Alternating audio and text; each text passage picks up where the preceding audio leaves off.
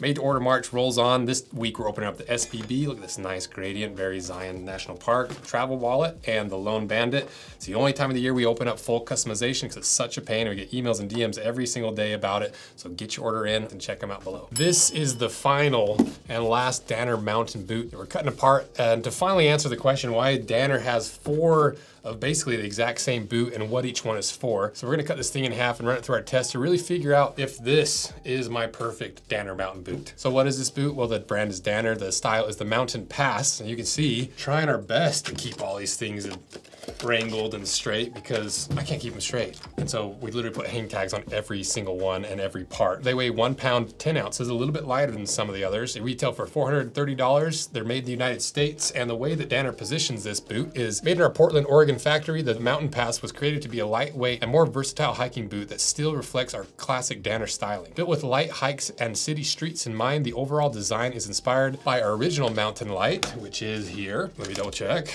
With an updated construction method method that integrates the shank, midsole, and lasting board into a single piece. This new unified platform combined with a low profile Vibram outsole allows us to significantly reduce the weight and create an out of the box comfort that doesn't come standard with most classic hiking boots. This video is sponsored by Just Meats. Just Meats is a meal delivery subscription service and makes the hardest part of meal prep easier and just delivers pre-cooked, pre-seasoned meats and sauces straight to your front door.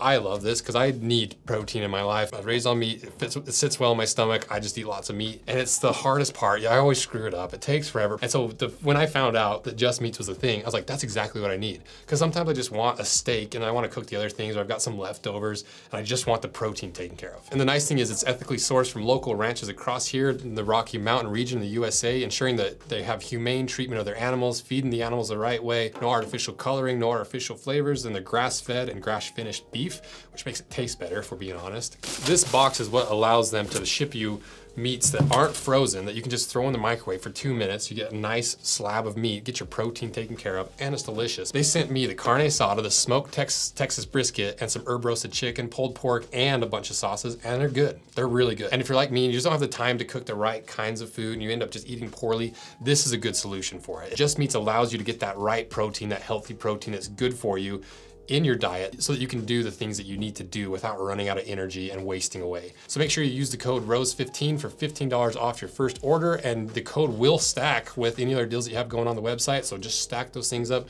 get some tasty meats, and thanks again to Just Meats. So at least one of the four pretty well describes what they wanted to make with this boot, how they wanted to position it, and what it might be intended for. It makes my job a little bit easier, but it's still different enough. And there's some really interesting things with this boot that makes it potentially my favorite. First of all is the leather, because this is a Horween Chrome Excel leather. The rest have been pretty decent leathers, but if you don't know, Chrome Excel is a really, really famous and popular leather because it's really saturated with oils and waxes and conditioners. It has a really distinct smell. I actually didn't know that this was Chrome Excel until we started planning it. I was like, there's no way it's Chrome Excel. And then I gave it a sniff test and it, it definitely smells just like Chrome Excel because it has a very sweet, unique flavor to scent to it. I haven't eaten any, I promise. But to see how good this leather is, we measured the thickness. It's 2.1 millimeters, so pretty close to the rest of the boots. And we cut a cross section out of it to look at how much grain is on the inside of this leather. You can see there's plenty of grain, you know, and, and Chrome Excel is a buffed surface leather, so it's technically a full grain leather. And one interesting thing is if you look at the cross section, you can see how blue it is. And we've talked about this before with the other boots, but allows you to have a little bit more rich light color by allowing those highlights to pop through when you bend and crease it by having such a light core. And we also ran the puncture test and it took 95.5 pounds of puncture through, so a pretty decent score, nothing crazy, but not bad. And we also ran the waterproof test on them. And this isn't a waterproof boot. It doesn't have a waterproof lining or anything, so we dunked it in and it, it kept the water out for the most part and it didn't completely soak after five five minutes, but the water definitely did slowly start seeping in. And along with the upper, there is a few changes that they did to the patterning because you can see the tongue is sewn on in two spots rather than it being integrated into that whole cut. You can see there's an extra cutout here in the medial part of the shaft of the boot where this one's a true whole cut.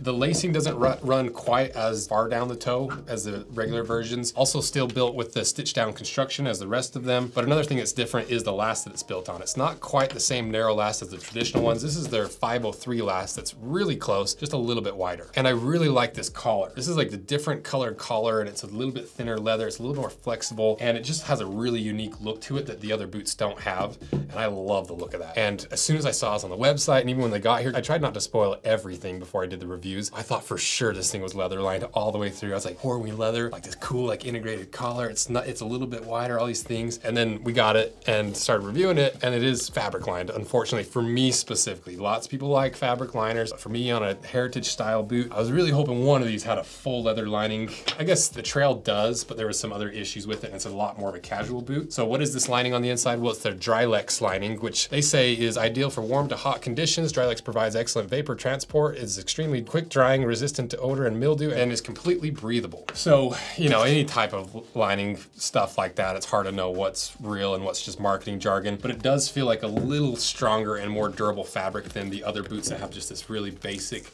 jersey fabric on the inside. So out of the fabrics, I like that one the most. And like I mentioned, it's not waterproof. There's no Gore-Tex linings. You can't get a Gore-Tex lining option in this boot. And if you look at the insole, you can see it's just a very classic Ortholite insole. It's open cell foam. You see these in a lot of boots. It is pretty comfortable for an open cell foam insole, but it's really nothing like built for hiking or anything, or even those plastic inserts that we saw on the Trail 2.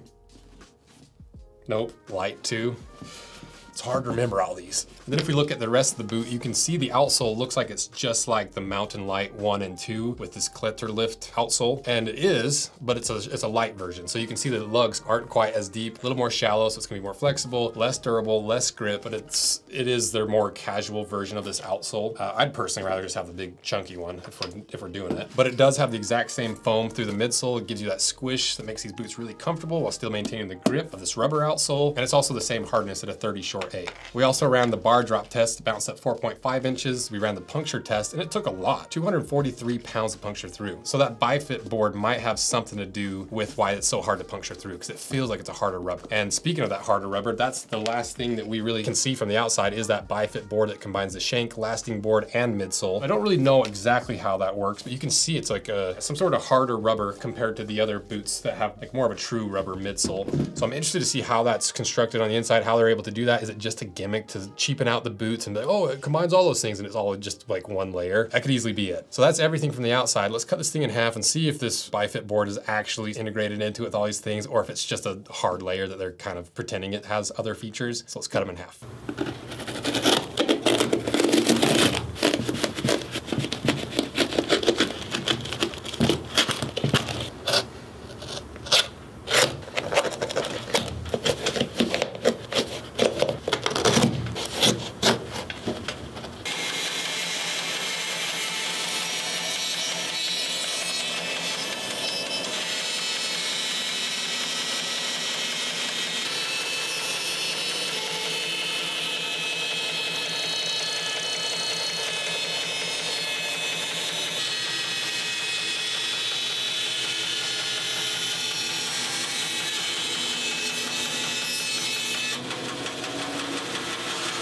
We got it cut in half and there is some differences on the inside. So let's see what's inside.